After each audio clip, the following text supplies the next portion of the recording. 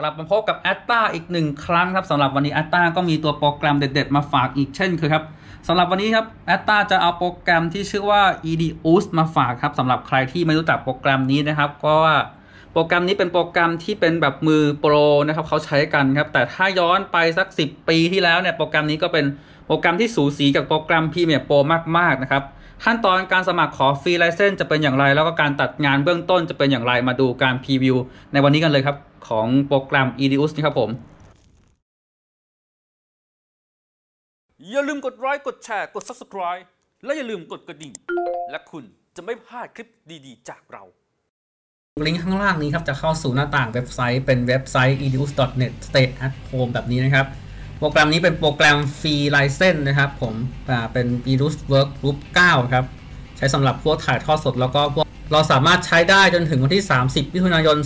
2020 นี้นะครับผม ถ้าเลยหลังจากนั้นไปเนี่ยนะครับ เราก็ต้องเสียเงินซื้อนะครับผม เพราะว่าตัวนี้เป็นตัวโปรแกรมที่ไม่ฟรีนะครับ จริง ๆ แล้วเนี่ยนะครับ โอเคครับ ต่อไปเลื่อนลงมาข้างล่างเลยครับ เลื่อนลงมาข้างล่างเนี่ย เราจะจะพบกับแบบฟอร์มขอกรอกสมัครคีย์นะครับ ขอรับคีย์ในโปรแกรมนั่นเองนะครับ แล้วก็คลิกเข้ามาครับตรงช่องแรกเนี่ยครับ พิมพ์ลงไปนะครับ ช่องนี้จะเป็นเรื่องของอีเมลนะครับ กรอกอีเมลของเราลงไปในช่องที่เขียนว่า please enter your email as state นะครับอีเมลของเราสามารถใช้ได้ทั้ง hotmail นะครับ yahoo แล้วก็ gmail 3 ตัวนี้สามารถใช้ได้นะครับผม ต่อไปครับตรงช่องที่ 2 ครับ ช่องสีเทาตรงนี้ครับ ช่องที่ 2 ครับ please enter your name and company or organize ให้เรากรอกชื่อองค์กรลงไปครับ องค์กรบริษัทอะไรเงี้ยที่เราสังกัดอยู่นะครับ ถ้าเราทำงานปกติแล้วก็ใส่ชื่อเราลงไปนะครับ ตรงนี้นะครับ เสร็จแล้วเนี่ยเลื่อนลงมาข้างล่างเลยครับ ตรงนี้นะครับสามารถใช้ได้ 1 เครื่องต่อ 1 key 1 e 1 key ต่อ1 e อ่า1เครื่องต่อ1 key 1 key ต่อ1อีเมลนะครับ ถ้าเราใช้ 2 เครื่องเราต้องไปลงสมัครทั้ง 2 เครื่องนะครับ โอเคนะครับ ของเรากรอกลงไปเรียบร้อยแล้วครับ รายละเอียดครบถ้วน เสร็จแล้วกดคำว่า apply for stay at home promotion นะครับ คลิกปุ๊บนะครับ มันก็จะเข้ามาสู่หน้าอีเมลแบบนี้นะครับอ่า หน้าอีเมลแบบนี้เลยนะครับ ถ้ามันไม่ปรากฏใน inbox แบบนี้ที่ผมชี้อยู่ตรงนี้นะครับ มันอาจจะไปอยู่ใน junk email นะครับ ให้เรามาคลิกดูอีกทีหนึ่งนะครับ ใน junk email ว่ามันอยู่ไหมนะครับ ถ้ามันอยู่แล้วก็คลิกตรงลิงก์นี้นะครับ อีกหนึ่งครั้งนะครับ เพื่อไปทำการขอรหัสอีกหนึ่งรอบนะครับ อ่า กดไปนะครับปึ๊บนะครับ กดไปมันจะเข้าสู่หน้าต่างตรงนี้นะครับ นี่หน้าต่าง stay at home EDUS นะครับ ก็ขึ้นลงมาข้างล่างนะครับ ตรงนี้เนี่ยมันจะบอกว่ามีข้อความให้ส่งไปหาอีเมลอีกรอบหนึ่งพร้อมกับรหัสคีย์นะครับ แต่ในกรณีเนี้ยคือผมทำไปแล้วหนึ่งรอบนะครับ เมื่อเราตรวจเช็คเรียบร้อยแล้วครับ มันก็จะเด้งเข้าสู่อีเมลเราลักษณะแบบนี้เลยนะครับ นี่นะครับ ใช้ได้จนถึงวันที่ 30 มิถุนายน 2020 เท่านั้นนะครับผม เสร็จแล้วเรากดตัวนี้ครับ ดาวน์โหลดลงไปนะครับ ผมดาวน์โหลดเรียบร้อยแล้วนะครับสำหรับการใส่ serial number ของตัวโปรแกรม edus 9ก็คือง่ายๆครับให้เราคลิกที่ตัวโปรแกรมนะครับแบบนี้นะครับเมื่อคลิกเข้ามาเรียบร้อยแล้วครับจะเข้าสู่หน้าต่างแบบนี้มาครับต่อไปให้เราทำการ copy key นะครับของเราลงมาวางไว้ตรงนี้นะครับกด paste นะครับวางไว้ได้เลยครับเสร็จแล้วกด register นะครับกด register ลงไปนะครับ แบบนี้หนึ่งคีย์นะครับจะใช้ได้หนึ่งเครื่องนะครับหนึ่งเครื่องก็หนึ่งอีเมลนะครับ ถ้าลงเสร็จเรียบร้อยแล้วครับหมดทุกอย่างแล้วมันจะเข้าหน้าต่างแบบนี้มาครับเป็นการเลือกโปรเจกต์นะครับที่อยู่ของโปรเจกต์นะครับ โดยที่อยู่เนี้ยมันจะเก็บทุกอย่างที่เราเคยทำนะครับไม่ว่าจะเป็นการทำงานก่อนหน้าหลังอะไรเงี้ยนะครับ มันก็จะเก็บไปในนี้หมดเลยครับ เวลาเราไปตามหาแล้วก็ตามหาจากในที่เราเก็บตรงนี้ครับให้เราจำไว้ดีนะครับว่าเราเก็บไว้ที่ไหนนะครับโอเค ตรงนี้ครับผมก็จะเก็บไว้ใน Overclock Zone เหมือนเดิมครับก็คลิกที่ Overclock Zone เนี่ยครับเสร็จแล้วกดทางด้าน select folder ได้เลยครับอ่าเสร็จแล้วกดโอเคต่อไปได้เลยครับ มันจะเข้าสู่หน้าต่าง start project ครับ โปรเจกต์เรายังไม่มีอะไรนะครับ อันนี้มันจะโล่งๆนะครับ เมื่อเรากด new project มาเรียบร้อยแล้ว มันก็จะมีแบบนี้มานะครับ ปรากฏมาอยู่ทั้งหมด 4 ช่องนะครับ ให้เราเลือกนะครับ คือช่องแรกคือขนาดก็คือ resolution นั่นเองครับ สูงสุดก็คือเราสามารถปรับได้ถึง 4K นะครับ แต่จริงๆ เราก็สามารถสร้าง 8K ได้เช่นเดียวกันครับ แต่มันจะไม่ปรากฏในนี้นะครับ ปรากฏในนี้แค่ 4K HD SD แล้วก็ DVD ครับ เรากด High Def ไปนะครับ ก็คือ HD นะครับำหรับตรงเฟรมเรทนะครับ มันก็สามารถปรับได้ครับ ตรงที่สูงสุดอยู่ที่ 59.94 ครับ โดยค่า I กับค่า P ก็จะต่างกันนะครับ แค่ความละเอียดของภาพเท่านั้นเองนะครับ เราก็เลือกเป็น P ไว้ก่อนนะครับ ก็คือเนี่ย 50P ไว้ก่อนนะครับเสร็จแล้วเนี่ยเราก็มาที่บิตครับ บิตเราก็เลือกเป็น 8 บิตนะครับลำโพงครับเราจะเอาแบบไหนครับ ออกเป็น 2 ช่อง 4 ช่อง 6 ช่อง 8 ช่อง 16 ช่อง 24 ช่อง สูงสุดถึง 64 ช่องครับ ถ้าใครทำถึงนะครับ ส่วนใหญ่แล้ว ถ้าเราออกทางด้านทีวีเนี่ยก็เป็น 4 กับ 6 นะครับ ส่วนใหญ่นะครับ แต่ของเราถ้าเล่นทางด้าน YouTube ก็ 2 ก็ได้ครับ แต่ก็เหลือไว้ก่อนก็คือ4 Channel ครับ ผมก็กดไว้เป็น 4 นะครับ เสร็จแล้วกด next ต่อไปได้เลยครับ อ่า เสร็จแล้วเนี่ยมันจะเข้าสู่หน้าต่างหน้าต่างหนึ่งให้เราเลือกโปรเจกต์ของเรานะครับ ว่าเราจะต้องการเอาโปรเจกต์ preset แบบไหนนะครับ ของเราก็จะสูงสุดเลยครับก็คือ 1920คูณ1080 นะครับ ก็คือ Full HD นั่นเองครับ8 bit 4 channel นะครับผม ก็ต่อไปเราจะเป็นขั้นตอนของการตัดต่อแล้วนะครับอ่าสำหรับใครที่สนใจไฟล์ตัดต่อผมก็มีแบบฝึกหัดไว้ให้สำหรับข้างล่างคลิปตรงนี้เหมือนกันนะครับ ก็ไปดาวน์โหลดได้เลยนะครับแล้วก็ตัดตามที่ผมสอนก็ได้เช่นเดียวกันครับสำหรับใครที่สนใจนะครับโอเคครับผมจะใช้ไฟล์นี้ครับโฟลเดอร์นี้ทั้งหมดนะครับดึงลงมาในตัวของโปรแกรม Edius นะครับก็คือเราไปอยู่ในโฟลเดอร์นี้นะครับอ่า test ตัดต่อโปรแกรม Edius ไอหนุ่ม biker นะครับแหมชื่อเพราะเหลือเกินครับ เสร็จแล้วเนี่ยเราก็เปิดโปรแกรม Edius ขึ้นมานะครับ แบบนี้นะครับอ่าต่อไปเรามาที่โฟลเดอร์นะครับโฟลเดอร์ของเรานะครับ ลากนะครับไฟล์ไอหนุ่ม biker เนี่ยของเราเนี่ยลงมาในตรงหน้าต่าง bin ได้เลยนะครับแบบนี้นะครับ ถ้าเราต้องการที่จะไม่ให้เสียงมันมากับตัวคลิปนะครับ เราก็มาแบบนี้เลยนะครับอ่า193ใช่ไหมมาวางบนตรงช่อง 1T นะครับนี่ครับวางไว้ในช่อง 1T นะครับแบบนี้ เสร็จแล้วเราก็ปล่อยเมาส์นะครับค้างไว้นะครับ อ่าแล้วเราก็ปล่อยเมาส์อีกหนึ่งครั้งนะครับ เพื่อทำการลบเสียงออกไปนั่นเองนะครับเสร็จแล้วเราก็ดึงไอ้หนึ่งเก้าสามของเราเนี่ยมาวางไว้ในช่อง1 VA นะครับอ่าแล้วก็ขยับมันไปสุดคลิปแบบนี้เลยนะครับตรงที่ 0.00 ตรงนี้เลยนะครับอย่างนี้เมื่อเราลากไฟล์ของเราลงมาครบหมดแล้วนะครับ ต่อไปจะเป็นการตัดแล้วครับ ผมก็จะเริ่มตรงจังหวะตรงนี้พอดีนะครับอ่าผมก็เลื่อนเส้นทม์ไลน์มาในตำแหน่งที่ต้องการนะครับ เสร็จแล้วเนี่ยนะครับ วิธีการตัดของเราก็คือคุมนะครับ ตรงคลิปให้เป็นสว่างสว่างๆแบบนี้นะครับ เสร็จแล้วเนี่ยนะครับเราก็มากดแป้นพิมพ์นะครับที่ C นะครับ กดตัว C ที่แป้นพิมพ์ได้เลยนะครับ แบบนี้ก็จะคล้ายๆกับตัวโปรแกรม Premiere Pro นะครับ แต่ว่าถ้าเรากด Premiere Pro เนี่ยนะครับ เราต้องมา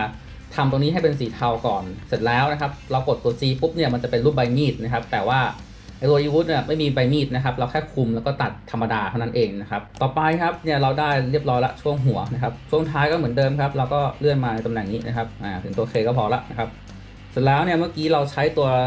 คุมนะครับ แบบนี้แล้วก็กด 4 นะครับ ต่อไปผมจะสอนอีกหนึ่งวิธีนะครับ เป็นการตัดเหมือนกันนะครับด้วยการกดชิป C นะครับ ชิป C คืออะไรครับ ชิป C ก็คือการตัดแบบ select all tag นั่นเองครับ สมมติว่า เราเลื่อนไปตรงเนี้ยนะครับ เราจะจะเอาออกแล้วนะครับ เราไม่ต้องมาคุมแบบนี้นะครับไม่ต้องคุมเหมือนคราวที่แล้วนะครับ เราก็แค่กดตัวชิป C ก็สามารถตัดได้เลยนะครับ แบบนี้นะครับ ต่อไปครับเรามาดูวิธีการเกรดสีในตัวโปรแกรมอีกกันบ้างครับสำหรับขั้นตอนการทำก็ง่ายๆเลยครับ มาที่ตัวเอฟเฟกครับเสร็จแล้วเนี่ยนะครับมันก็จะมีตัว video filter ตรงนี้อยู่นะครับ video filter คือเอฟเฟกทั้งหมดนั่นเองนะครับเสร็จแล้วเนี่ยนะครับกดลูกศร cursor ข้างหน้าเนี่ยนะครับมันจะเป็นแนวนอนอย่างนี้นะครับให้มันเป็นแนวดิ่งอย่างนี้นะครับ กดลงมาปุ๊บมันจะมีคำว่า color correction อยู่ตรงนี้นะครับอ่าเสร็จแล้วเนี่ยให้เรามาดูคำว่า primary color correction นะครับตรงนี้จะเป็นหมวดของการปรับแต่งการเกรดสีที่มันมีคุณภาพนะครับเสร็จแล้วลากลงมาในคลิปของเราครับแบบนี้นะครับอ่าเมื่อเราลากลงมาเรียบร้อยแล้วจะไม่ปรากฏอะไรเลยครับ ต่อไปครับให้เรามาปรับแต่งแต่ตรงนี้ครับ binary color correction ใน information ต่อไปครับตรง color space เนี่ยเราสามารถปรับได้นะครับ อ่าสมมติว่าเราถ่ายกล้องแบบ back magic มานะครับเราก็ปรับไปปุ๊บมันก็จะปรับเป็นกล้องของ back magic นะครับอ่าเนี่ยนะครับแล้วก็ปรับไปสมมติว่าเราถ่ายมาเป็นแบบ Canon นนะครับก็จะเป็น Canon ให้นะครับ แบบนี้นะตรงนี้เราก็ปรับไปตามที่เราต้องการครับเราจะเอาแบบไหนก็ได้ครับ ตรงนี้ก็ก็สามารถปรับได้ครับเป็นซีนกับเป็นตัว display นะครับเอ็กโชัวก็คือความสว่างครับเราก็สามารถปรับได้ครับนะเราก็จะได้ภาพที่เป็นแบบแนวอย่างนี้นะครับ เคนะครับต่อไปเราก็มาคุมทุกคลิปให้เป็นลักษณะแบบนี้นะครับ แล้วก็ดึงตรง primary color correction ที่เราสร้างเมื่อกี้มาวางไว้ในคลิปทั้งหมดของเราแบบนี้เลยนะครับ มันก็จะเป็นการเกรดสีมาให้เรียบร้อยแล้วนะครับ ตรงช่วงต้นเนี่ยนะครับ ผมก็จะเอาตัวที่ผมเขียนว่า vector มานะครับ มาวางไว้นะครับ ผมก็เอาคลิปเนี่ยมาวางไว้ได้เลยครับแบบนี้นะครับโอเคนะครับ จะสังเกตว่าไอ้ไบเกอร์ผมเนี่ยมันขนาดใหญ่นะครับ วิธีการหดของตัวโปรแกรมก็คือ ไปที่ตรงคลิปที่เราต้องการครับเสร็จแล้วกด F7 เหมือนเดิมครับ layouter คำสั่ง layouter จะเป็นในโหมดของการขยับต่างๆ ของตัวโปรแกรมนั่นเองนะครับอ่าขยับขยายย่ออะไรอย่างเงี้ยครับก็จะอยู่ตรงนี้นะครับ ของเราก็จะวางไว้แถวๆนี้เนาะอ่าวิธีไบเกอร์ของเราจะวางไว้ตรงนี้แล้วกันอ่าเสร็จแล้วเนี่ยเราก็กดโอเคลงไปนะครับนี่นะครับมันก็จะเป็นอย่างนี้นะครับ ธีการทำเทคก็ไปที่ตรงหน้าต่างบินนะครับ เสร็จแล้วเนี่ยกดไอคอนตรงนี้ครับ add title กดลงไปหนึ่งครั้งนะครับอ่าเสร็จแล้วเราก็มาพิมพ์นะครับ ผมว่าผมจะเขียนว่าเสนอเนาะมาเป็น 10 ล้อเลยนะครับ แบบนี้ เราสังเกตว่าฟอนต์ของเรามันเป็นฟอนต์สีขาวครับถ้าเราต้องเปลี่ยนสีนะครับ เราก็มาที่ตรงนี้ครับเลื่อนลงมาข้างล่างตรง fill color นะครับ fill color คือการปรับสีนะครับ เราสามารถปรับได้เป็นถึง 7 สีนะครับ เราจะเอาสีรุ้งก็ได้ครับ แล้วแต่เรานะครับนี้ผมจะใช้แค่สีเดียวครับ ก็คือสีขาวนะครับ เราก็มาคลิกที่สีขาวครับแล้วก็มาปรับนะครับ เป็นสีอื่นที่เราต้องการครับอ่าผมว่าผมจะเอาเป็นสีเทานะครับเสร็จแล้วลงมาข้างล่างครับ edge ก็คือขอบนะครับ ถ้าเราไม่ต้องการเราก็กดเครื่องหมายถูกออกไปนะครับ ตรง edge ตรง fill เนี่ยเราก็สามารถปรับสีได้ถึง 7 เลยนะครับ ถ้าเราจะต้องการที่จะใช้ขอบ 7 สีมณี7แสงก็จัดไปนะครับรวมถึง Shadow ก็สามารถปรับขอบปรับเงาได้เช่นเดียวกันนะครับ เคครับนี้เราเลือกเรียบร้อยแล้วนะครับสำหรับการเปลี่ยนฟอนต์ครับผมลืมบอกไปครับฟอนต์เนี่ยเราสามารถเปลี่ยนตรงนี้ได้นะครับนี่ครับเราก็เลือกได้เลยครับตัวที่เราอยากจะรู้ว่าฟอนต์มันหน้าตาแบบไหนครับมันจะโชว์ตรงนี้ครับนี่นะครับตรงที่มือผมปอกเนี่ยครับเรียบร้อยหมดแล้วครับเราก็มากด Ctrl S ครับ Save นะครับเรียบร้อยละครับเสร็จแล้วเราก็วางนะครับเอามาวางในตัวของโปรแกรม Edus นะครับสำหรับการวางเนี่ยเราวางได้ 2 แบบก็คือวางข้างบน ชั้นอย่างนี้ครับ 2B อย่างนี้ หรือเราจะวางข้างล่างก็ได้ ความแตกต่างระหว่างข้างบนข้างล่างก็คือครับข้างข้างบนเนี่ยนะครับ เราก็สามารถปรับแต่งได้เยอะขึ้นนะครับ แต่ถ้าข้างล่างก็จะเป็นแค่ transition มาให้อย่างเดียวนะครับแบบนี้สำหรับการใส่ transition ครับ เราก็มาที่ตัว effect นะครับ แล้วก็มาที่คำว่า transition ครับตัว transition เนี่ยจะมี 2D 3D alpha GPU แล้วก็ simple นะครับ เราสามารถเลือกได้เลยนะครับ สมมติว่าผมจะเอาเป็นแบบ alpha เนาะ อ่าแล้วก็มาเลือกตรง alpha custom map ตรงนี้ครับวางไว้อย่างนี้เลย ตรงนี้เราก็สามารถปรับแต่งเพิ่มเติมได้เช่นเดียวกันครับด้วยการกดข้างหลังอย่างนี้นะครับ แล้วก็ลากไปเลยครับนี่ครับมันจะเป็นลักษณะแบบนี้ ต่อไปครับเราก็จะมานะครับในการใส่อ่า voice ที่ผมลงเสียงนะครับ กับเพลงคอกันบ้างนะครับ ก็ให้เราลาก voice ครับอ่าโฟลเดอร์ที่เขียนว่า vo นะครับมาวางไว้ตรงคลิปของเราครับผมว่าผมจะวางไว้ตรงช่วงนี้เนาะวิถีไบเกอร์ การเดินทางของเราในวันนี้ครับ ก็เดินทางมาไกลหลายร้อยกิโลครับ ต่อไปครับ ถ้าเราต้องการที่จะหลีเสียงของเราลงครับ หรือว่าลดเสียงของเราลงครับ ก็ง่ายๆเลยครับ ไปที่ตัวคลิปของเราแบบนี้ครับ กดคลิกขวาครับ Pop Putty นะครับ หรือว่ากด Alternate Enter ที่แป้นพิมพ์ก็ได้สำหรับใครที่ถนัดแล้วครับ กับการใช้ช็อคคัทนะครับ โอเค เปิดขึ้นมาที่คลิป Pop Putty เรียบร้อยแล้วจะเข้าสู่ในโหมดของ Audio นะครับ เราสามารถปรับตรงนี้ครับเกรนนะครับ นี่นะครับ ได้เลยนะครับ ต่อไปครับเราก็จะเอาเพลงมาวางไว้แล้วนะครับ นี่นะครับ ตรงที่ข้างล่างคลิปของเราครับ เราก็มาวางไว้ตรงช่อง 1A นะครับ แบบนี้เลยนะครับ ต่อไปครับเราจะเอาตรงเสียงตรงที่ผมพูดเนี่ยนะครับมันเบานะครับ แล้วก็ไอ้ตรงที่ไม่มีเสียงพูดผมเนี่ยมันดังนะครับเราจะทำยังไงก็คืออย่างแรกก่อนให้เรามาปรับเสียงก่อนเลยครับอ่ามาที่ Pop Putty เหมือนเดิมนะครับลดสเกลของเราครับให้มันเป็นลบ15ครับถ้าเสียงปกติที่ผมใช้เนี่ยจะเป็นลบ15นะครับแล้วก็เสียงที่เป็น ช่วงที่พูดเนี่ยก็เป็นลบ30 หรือ 32นะครับเสร็จแล้วเนี่ยเราก็เลื่อนเส้นไทม์ไลน์ของเรามาในตำแหน่งที่ต้องการจะตัดผมว่าผมต้องการที่จะให้เข้าตรงช่วงนี้ครับ ผมก็มาตัดใช้ C ตัดนะครับโอเคแล้วก็มาทางท้ายครับใช้ C ตัดเหมือนกันนะครับ มันก็จะเป็นเสียงที่ดังกับเบานะครับ ต่อไปเราจะเอาเสียงดังกับเสียงเบาเนี่ยมันจะเชื่อมกันยังไงครับ ง่ายๆเลยครับมาที่ Effect นะครับ แล้วก็มาที่ตัวคำว่าที่เขียนว่า อ audio crossfade นะครับตรงนี้นะครับเสร็จแล้วเรามาใช้คำว่า spin out in นะครับเสร็จแล้วเนี่ยนะครับเราก็มาวางไว้ตรงกลางระหว่างคลิป 1 กับคลิป2นะครับเหมือนเดิมเหมือนกับการใส่ transition เลยครับสำหรับการฟิลนะครับตรงนี้นะครับการเชื่อมนะครับก็เหมือนกันนะครับเราก็มาวางไว้ตรงนี้นะครับเสร็จแล้วเนี่ยก็ลองเพลย์ดูนะครับ วิถีไบเกอร์การเดินทางของเราในวันนี้ครับก็เดินทางมาไกลหลายร้อยกิโลครับ ต่อไปครับเราก็จะเป็นเรื่องของการ Export ละนะครับสำหรับการ Export นะครับก็คือให้เรากด I ที่หัวคลิปนะครับ แล้วก็เลื่อนเส้นทม์ไลน์มาสุดคลิปแบบนี้แล้วก็กด O นะครับเสร็จแล้วเนี่ยนะครับให้เรามาตรงนี้ครับไอคอนตรงนี้ครับเป็นรูป Export อยู่บนจอ Preview นี้นะครับกดคลิกขวาลงมาครับ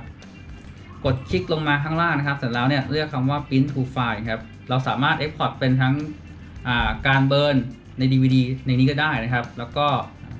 export ปกตินะครับก็คือการ export แบบ print to file นะครับเราก็กด print to file ไปนะครับเสร็จแล้วเนี่ยนะครับมันก็จะมีหลากหลายไฟล์เลยครับ ถ้าเราต้องการที่จะเอาชัดๆหน่อยผมแนะนำเป็น AVI แต่ขนาดไฟล์ที่จะออกไปจะหลายกิกมากนะครับอ่าแล้วก็อีกหนึ่งตัวครับคือ MOV นะครับอ่าตัวนี้ก็ผมแนะนำนะครับถ้าเป็นจะจะออกแบบภาพชัดๆ คมๆนะครับ แต่ถ้าเอา แบบออกแบบธรรมดาก็คือ MP4 นะครับ ก็เป็นตัวนี้ H264 นะครับ แล้วก็ H265 นะครับ เสร็จแล้วเราก็กด Export ครับ เพราะผมทำแค่ไฟล์เดียวเท่านั้นครับ เราก็ไปตั้งค่าชื่อไฟล์ของเราครับไอหนุ่มไบเกอร์นะครับ Super File ครับ Quality ครับ ตรงนี้ครับ ก็เป็นเรื่องของคุณภาพของภาพนะครับ ก็มีทั้ง Super File เนี่ยก็คือคุณภาพดีที่สุดนะครับ Normal ลงลงมาครับ แล้วก็ High Speed คือต่ำนั่นเองนะครับ อ่าครับเสร็จแล้วเรากด save แล้วก็รอโปรแกรม วิ่งไปตามที่เราต้องการแค่นั้นเองครับ นี่คือการ Export ของตัวโปรแกรมออกแล้วนะครับ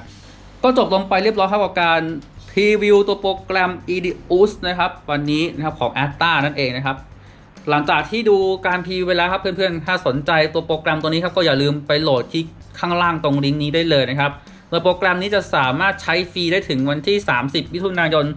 2020 นี้เท่านั้นครับถ้าช้ากว่านั้นเนี่ยอาจจะ ไม่ได้ใช้ฟรีแล้วครับ อาจจะเสียดายและเสียใจไปอีกนานเลยนะครับ เพราะว่านานๆทีโปรแกรมดีๆ อย่างนี้จะแจกฟรีสักหนึ่งทีนะผมเองก็ยังตกใจเลยครับว่า e d u s เนี่ยเหรอครับที่แจกฟรีโอ้โหตกใจมากก็เลยทำคลิปนี้มาฝากเพื่อนๆครับถ้าใครสนใจก็อย่าลืมกดลิงก์ข้างล่างตรงคลิปนี้แล้วก็ดูวิธีการสอนต่างๆ ของตัว a t t a ที่ทำในคลิปนี้ไว้ให้เลยนะครับผมสำหรับวันนี้แอตตาแล้วก็ Overclock Zone ต้องขอลาเพื่อนๆไปก่อนครับก็หมายสำหรับคลิปหน้าแอตตาจะเอาโปรแกรมตัดต่อเด็ดๆมาฝากก็อย่าลืมกด subscribe ที่ Overclock Zone ให้ด้วยนะครับสำหรับวันนี้สวัสดีครับ